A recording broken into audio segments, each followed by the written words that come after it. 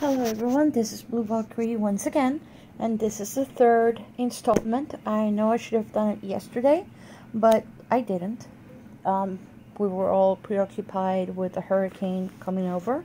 So today it will be day number three, and I'm sorry about that.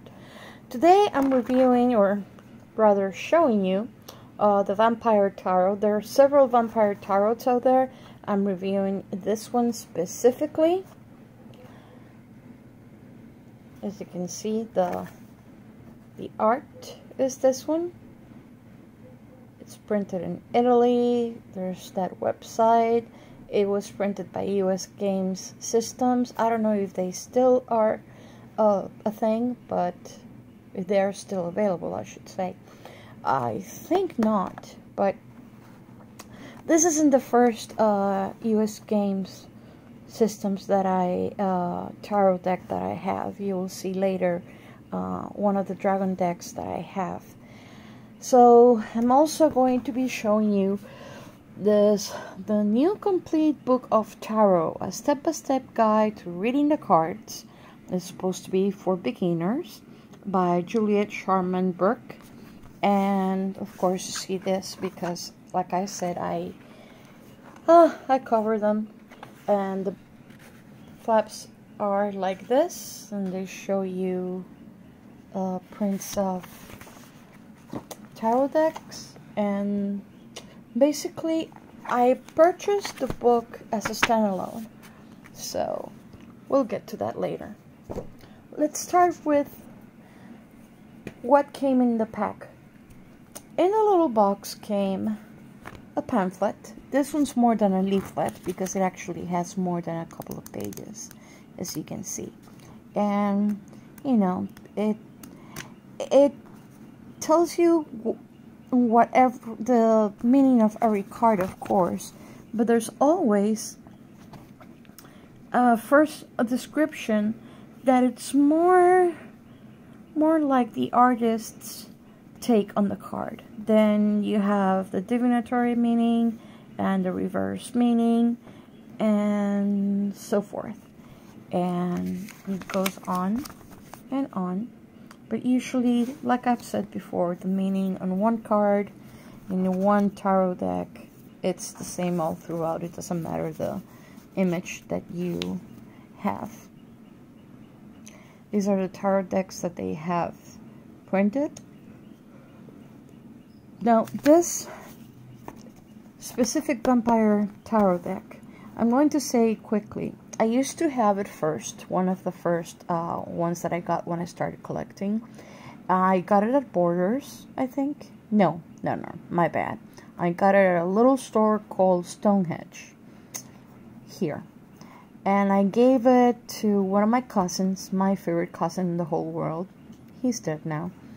And then some months ago, well, more than one month ago, actually, I would say, about six or seven months ago, a dear friend of mine, Faye, Hi, Faye, how are you? Um, is Spanish for faith. So, she gave me the deck as a gift because um, she thought I could handle this deck better than she could. And in a way, the deck came back to me. Not the same deck, but the same type. So, anyway, let's look at these.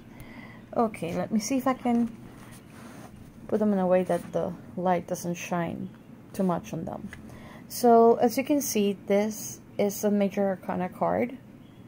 And this is one of the other cards. You see, this is what I mean. This is the type of card that I like because you see the pentacles, right? You see the, the 10 pentacles there, but you also see a piece of art that you're not going to see in any other.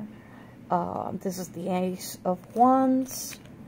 Um, you have the Six of Swords, and again, it's an art aside from the Six of, Six of Swords. This is the High Priestess. This is the King of Cups.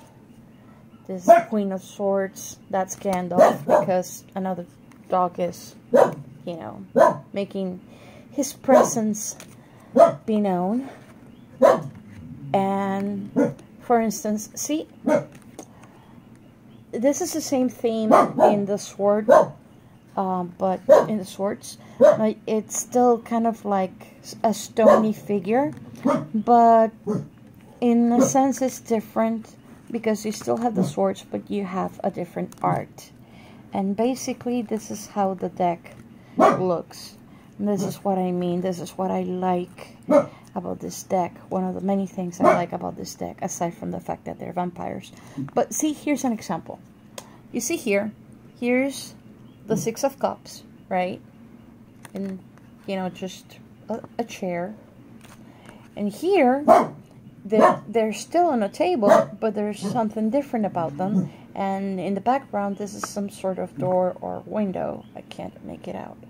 But, you see, it's different. And this actually has something to do with the meaning of the card itself. And see, for instance, here you have, this is the Five of Wands, and you see the Five Wands, but you also see a piece of art. This is the 10, no, 4, 4 of Swords. And again, the same thing. This is what I like about this deck. It's not just putting stuff out there for the sake of putting stuff. They actually uh, include a piece of art along with it. So this is how the the whole art, how it looks. I like the aesthetic of it as well. Gandalf, shut up! And I apologize for that. Uh, this is in the back cover of the box, of course, as you can see.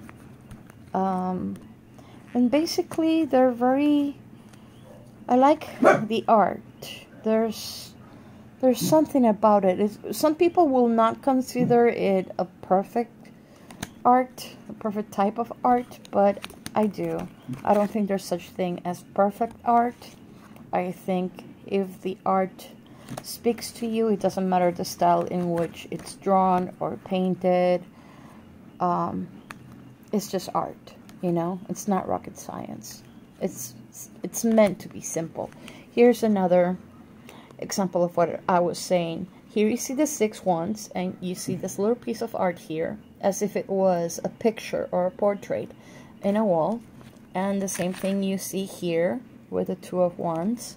And that is a recurring theme on the wands. And as you can see, this is another wand card. This is the Knight of Wands.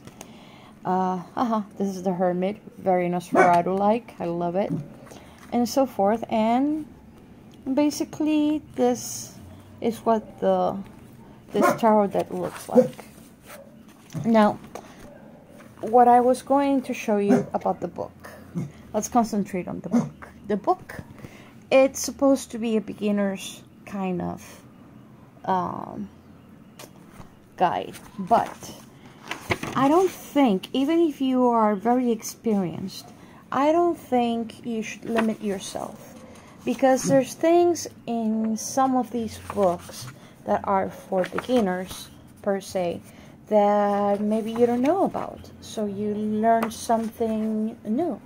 And you can see they show you a picture of a card. It's usually, this looks a lot like the most commonly used uh, Rider Waite deck. And it gives you a lot of information on everything about the card, what is that uh, the card means, why the symbols, and so forth. And it also tells you um, different things. It tells you around a, a bit about the positions. It tells you a lot of stuff that in reality, a lot of people, even myself, I really didn't know a lot. I mean, I knew quite a lot, but I can't say I know everything because that's not true. See, it gives you um, a spread.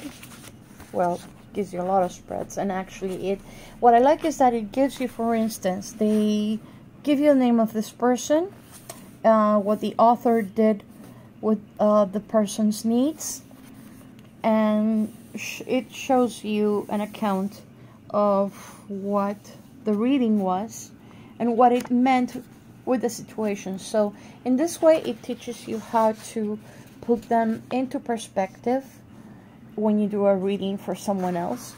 Uh, I never recommend you doing a reading for yourself because you're going to be biased.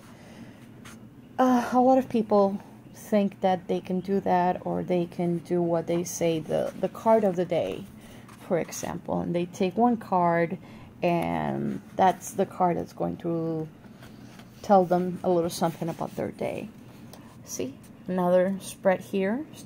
This one is called the Tree of Life. And again, another example. So basically, this is why this little book is actually really, really good. And I would say I agree a lot with how it's been read, written and how the um, how the meanings have been allocated to each card. I would say it's one of the most accurate ones out there and I really recommend it. I bet that if you try to find it, the cover is going to be different, but the most important thing is the title. This is re-illustrated, so the original one doesn't look like this. The new complete book of tarot, step-by-step -step guide, most important thing, by Juliet Sharman Burke. So, thank you for watching. Uh, tomorrow, there's going to be another book and another tarot deck. Um, it's going to be another vampire deck, so you can see the difference. And I might show this again just to compare uh, those cards with these cards. And you can see how they are very different, even though the theme is supposed to be the same, vampires. So thank you once again and I'll see you tomorrow. Bye bye.